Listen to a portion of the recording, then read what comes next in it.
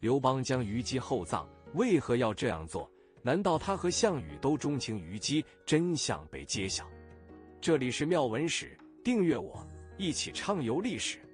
虞姬，中国历史上著名的女性人物，她与项羽的爱情故事被后人传颂不衰。而刘邦作为项羽的对手和汉朝的开国皇帝，他为什么要礼葬虞姬呢？这个问题一直以来都备受关注。今天妙文史就带你一起探讨这个问题。虞姬原是一个歌女，但她却拥有过人的才艺和美貌。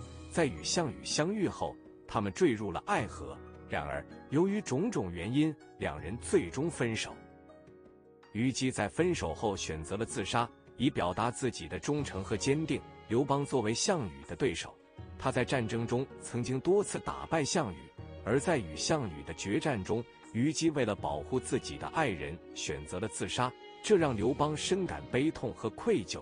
他认为自己没有能够保护好虞姬，也没有能够守护好自己的爱情，因此他决定为虞姬举行隆重的葬礼，以表达自己的哀思和敬意。刘邦礼葬虞姬的行为，反映了他对爱情和忠诚的尊重和珍视。这种行为也受到了当时社会的高度评价和尊重，同时。他也成为了后人传颂不衰的爱情故事之一。刘邦礼葬虞姬的行为是基于他对爱情和忠诚的尊重和珍视，这种行为也反映了当时社会对爱情和忠诚的重视。无论虞姬与刘邦之间的爱情如何，我们都应该尊重历史事实，客观地评价历史人物的贡献和影响，为后人树立正确的历史观和价值观。有一首诗是这样描述的：“力拔山兮气盖世。”时不利兮骓不逝，骓不逝兮可奈何？虞兮虞兮奈若何？生当作人杰，死亦为鬼雄。虞姬和项羽的爱情故事，至今还被我们所称赞。虞姬追随西楚霸王项羽自刎的勇气，我想古今中外没几个女子能做到。刘邦、项羽都是历史上比较出名的人物，他们两人为了争夺天下，斗智斗勇。秦始皇霸气一扫陆河后，辉煌一世的大秦国才刚刚开始营业，结果在二世就走向了灭亡。当时的局面是非常混乱的，每个人都想要登上那个宝座，而当时比较有实力的人就是刘邦和项羽了。而刘邦最后能够取得成功，也是有一定的原因的。项羽这个人虽然也很优秀，但是他个人心高气傲了，有点目中无人。是他自己的性格最后导致了失败。项羽的性格在他还是年少的时候就已经体现出来了。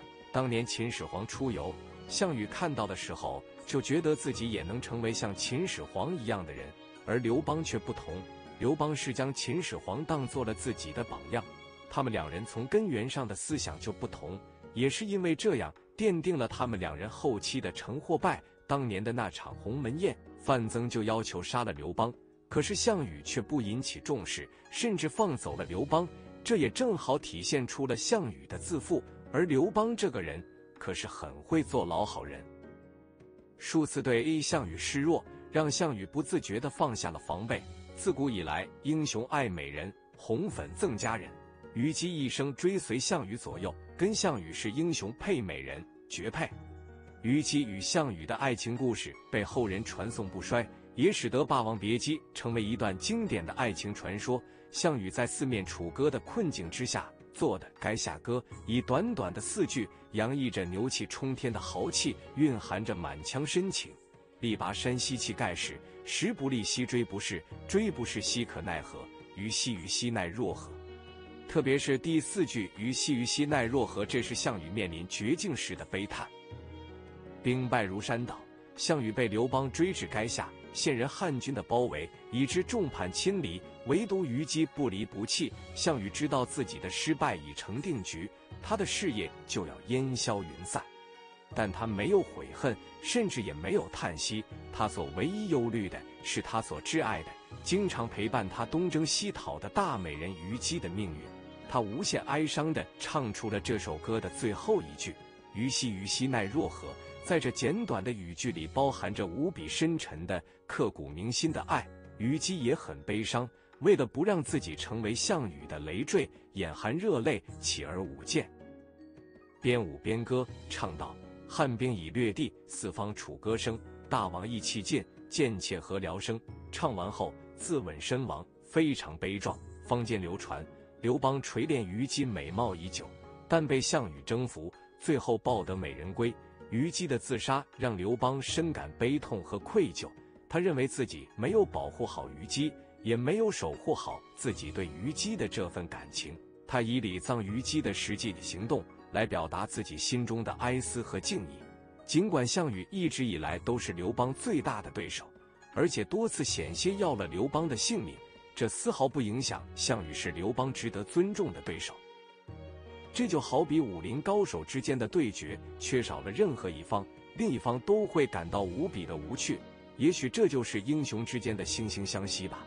所以刘邦也善待项羽最爱的女人，厚葬虞姬。还有一种说法是，在彭城之战中，刘邦的老婆吕雉都被项羽抓获，但最终项羽毫发无损地将吕雉以及刘邦的家人护送回到刘邦身边。这也是刘邦礼葬虞姬的一个重要说法。在后世史书中，也没有刻意扭曲丑化他的形象。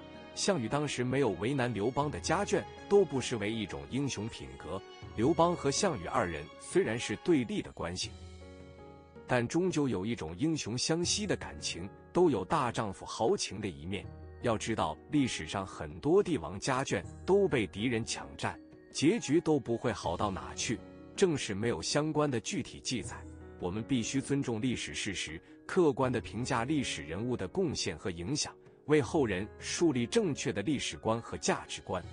刘邦和项羽两个人生命中都有最重要的女人，当初项羽就抓走了刘邦的女人吕雉，可是最后吕雉又被完好无损地给送回去了。不少人还会纳闷，项羽会不会将刘邦的女人吕雉给玷污了呢？翻阅历史资料，我们可以得知。刘邦的年龄和始皇帝差不多，但是项羽就比刘邦年轻很多，因此吕雉这个女人其实也已经不是年轻如花的年纪了。再加上项羽有美人虞姬，根本不会想着去触碰一个中年妇女了，所以项羽应该是没做出什么出格的事情来，至少对吕雉不会。后期的虞姬为了不把项羽给拖累，更为了自己不被侮辱，他还上演了一出《霸王别姬》。虞姬的傲骨也得到了刘邦的敬佩，在其死后，刘邦还厚葬了虞姬，并且给项羽建立的公墓，在史料的记载中，也没有特别的丑化形象。这一切其实都在透露着刘邦的宽和以及仁义之心。不过，项羽作为一个英雄，他也没有为难刘邦的家眷。刘邦和项羽虽然他们两人是对立的一种关系。但是也都有仁义的英雄情节在，对此你怎么看？如果您喜欢这篇文章，欢迎在评论区留言探讨。这里是妙文史，订阅我，和你分享不一样的历史故事。